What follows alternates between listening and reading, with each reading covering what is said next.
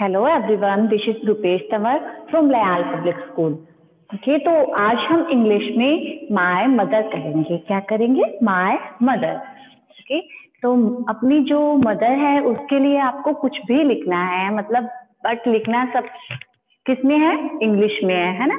अपनी मम्मा आप, आपकी मम्मा आपके लिए क्या क्या करते हैं? दिन भर आपको खाना खिलाते हैं कोई भी कोई भी काम हो, उसमें कौन हेल्प करता है? मम्मा ही हेल्प करते हैं, है ना? तो अपनी मम्मा का नेम बताना है, वो कैसे हैं, वो बताना है है ना? तो हम स्टार्ट करते हैं नंबर वन से। सबसे पहले हम क्या लिखेंगे? अपने मदर का नेम लिखेंगे। तो नंबर वन में लिखो एम बाय माई मैं एक बार आपको वैसे ही लर्न करवा देती हूँ। जैसे ऑरली लर्न करो, फिर हम विद स्पेलिंग से लर्न करेंगे okay my mother name is Mrs जो भी आपका मदर का नेम है, वो बोलना है okay my mother's name is Mrs जो भी नेम है, जैसे किसी की मदर का नाम श्वेता है, किसी की स्वाति है तो my mother's name is Mrs Swati Sharma, जो भी हो, है ना तो next she is very beautiful she is very beautiful she cooks food for me. She cooks food for me. She helped me in everything. She helped me in everything. She is my best friend. She is my best friend. I love my mother very much. I love my mother very much. तो आपको अब ये with spelling से लिखना है okay जैसे M Y my my mother name is वो लिखना है ना फ़र्स्ट लाइन कौन सी थी my mother's name is Nitesh Swati Sharma या जो भी है, वो आपको लिखना है ओके तो my mother M O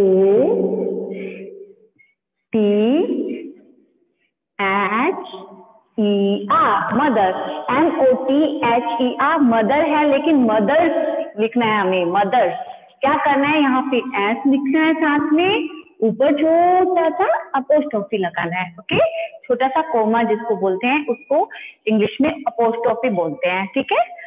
My mother name N A M E name N A M E name N A M E name N A M E name my mother's name I S is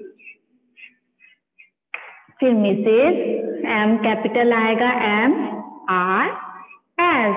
Mrs अब जो भी आपकी mother का name है, वो यहाँ लिखना है और उसके बाद में फुल स्टॉप लगाना है। और मदर का नेम जब भी लिखोगे फ़र्स्ट लेटर कैपिटल लिखना है बिकॉज़ जब भी हम किसी का नेम लिखते हैं तो उसमें फ़र्स्ट लेटर हमेशा कैपिटल होता है ओके तो नंबर टू में लिखेंगे she is very beautiful she is very beautiful तो एस एच शी शी तो हमने यहाँ पे शी क्यों लिखा है?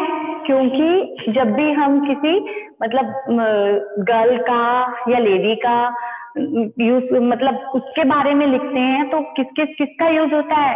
एस एच ई शी का होता है। अगर हम हमारे फादर के बारे में लिख रहे होते तो यहाँ पे एच ई शी लगाते हैं ना? तो एस एच ई शी अब इज़ वो सिंगल है, इसलिए यहाँ पे हम इज़ लगाएँगे। एम या आर नहीं लगाएँगे। एम किसके साथ यूज़ होता है? ए एम एम आई के साथ यूज़ होता है। तो यहाँ आई तो नहीं है शी है शी के साथ हमेशा इज़ का यूज़ होता है। तो she is very beautiful very की spelling V E R Y very V E R Y very she is very beautiful. B e a u t i f u l. Beautiful. B e a u t i f u l. Beautiful. B e a u t i f u l. Beautiful. My mother's name is mrs फिर उसके बाद में she is very beautiful she is very beautiful she cooks food for me कौन खाना बनाता है आपके लिए? है ना? मम्मा बनाते हैं ना? तो she cooks food for me S H E she cooks C double O K S F double O D food F O R food M E me she cooks food for me she cooks food for me my mother's name is Mrs फिर आपको अपने mother का name लिखना है she is very beautiful She cooks food for me. Next, she helps me in everything. S H E she help help करते हैं ना मम्मा आपकी H E L P S help she helps me M E me I N in E V E R Y every P H I N G thing. She helps me in she helps me in everything. She helps me in everything. S H E she H E L P help H E L P S help M E me I N in E-V-R-Y, every, T-H-I-N-G, thing. She helped me in everything. Next है, she is soft spoken. क्या है वो? She is soft spoken. वह बहुत softly बोलती है, है ना?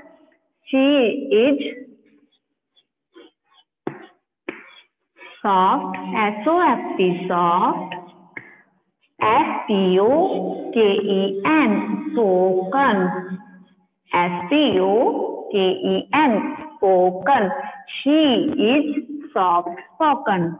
She is soft spoken. I love my mother very much. I love my mother very much. I L O V E love M by my M O T H E R mother.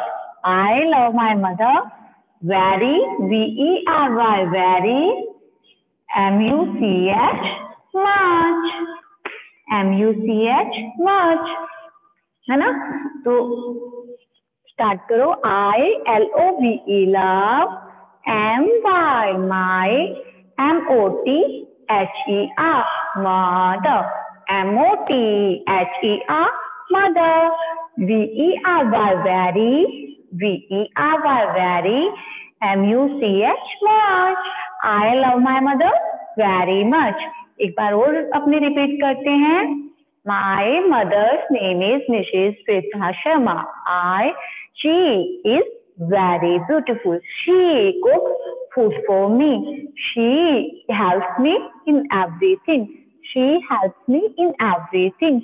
She is soft in spoken. He is soft in spoken. She plays with me. She is my best friend. I love my mother very much. तो आपकी ये seven lines है eight lines है वैसे तो but मैंने यहाँ पे सिक्स लिख पाई है आपको पीडीएफ में मैं एट लाइन सेंड करूँगी ताकि आप एट में से एटलीस्ट फाइव या सिक्स तो लर्न करो है ना? ओके okay, तो अब मैं करवाती हूँ आपको नेक्स्ट टॉपिक हेलो एवरीवन तो अभी मैं आपको करवा रही हूँ एक बार प्रीपोजिशन है ना? पहले मैंने माए मदर करवाया था अभी प्रीपोजिशन कर रहे हैं हम।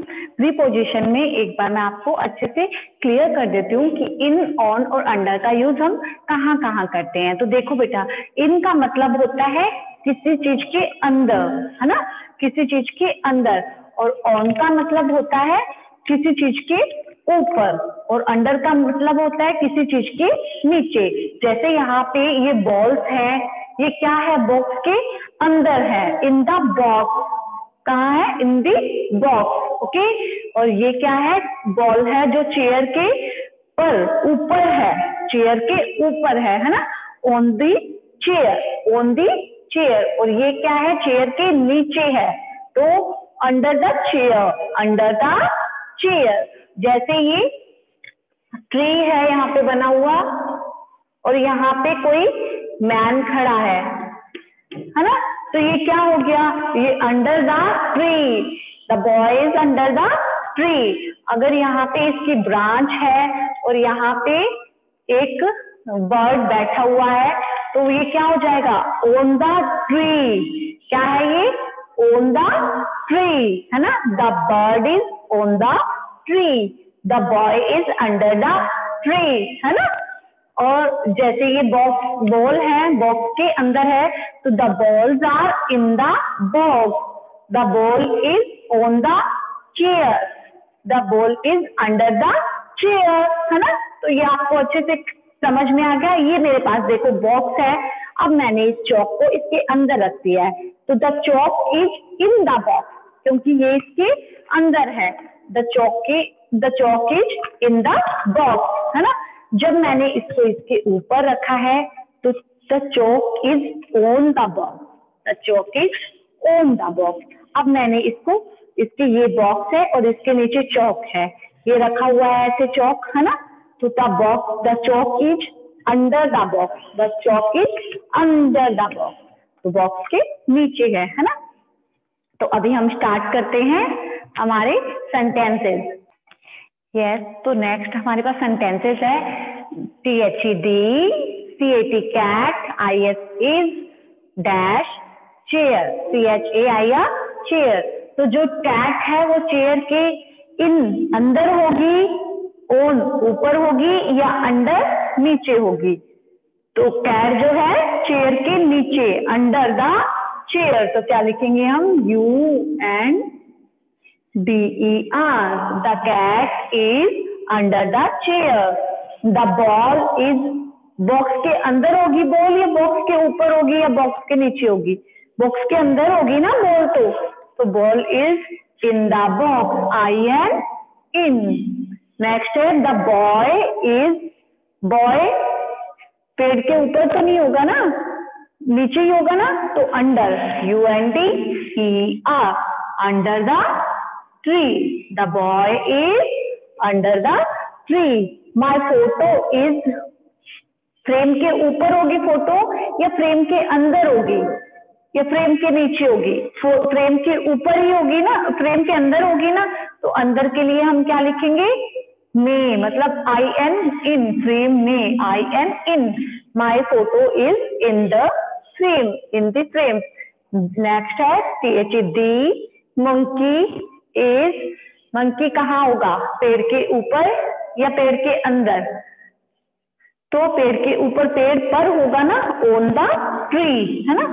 The monkey is on the tree the juice is juice glass के अंदर होगा ना ग्लास में होगा ग्लास के ऊपर तो नहीं होगा तो E N I N in in the glass okay next है the fruits are in the basket basket के अंदर ही होते हैं ना फ्रूट तो in I N in basket में the fruits are in the basket books are on the table table के ऊपर होती है ना बुक्स टेबल के नीचे या टेबल के अंदर तो नहीं होती है. तो table on the table O N on आ जाएगा. वैसे ही है the man is man house के ऊपर होगा या हाउस के पर या हाउस के नीचे तो नहीं होगा. हाउस के अंदर ही होगा ना? तो the man is in the house in the house I N in आ जाएगा, है ना? नेक्स्ट है माई क्लोथ आर सूटकेस के अंदर क्लोथ होंगे या ऊपर होंगे या नीचे होंगे? सूटकेस के अंदर होंगे ना? तो in the suitcase I N in in the suitcase okay तो ये आपके प्रिपोजिशन कंप्लीट होते हैं माय मदर कंप्लीट होता है। कॉम्पोजिशन और प्रिपोजिशन टू टॉपिक्स किए हैं आज हमने, और वो आपको नीट एंड क्लीन करके और मैम को सेंड करना है। बाय